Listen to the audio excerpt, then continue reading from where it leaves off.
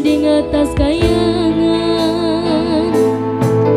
Seakan bisa ku sentuh peristiwa semalam. Di malam pesta engkau bisikan kata azimah di telinga.